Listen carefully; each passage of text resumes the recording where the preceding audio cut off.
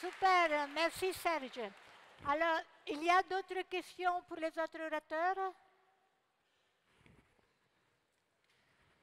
On a le temps de réfléchir et d'avancer vers la deuxième table ronde qui est donc euh, à l'école de la nature.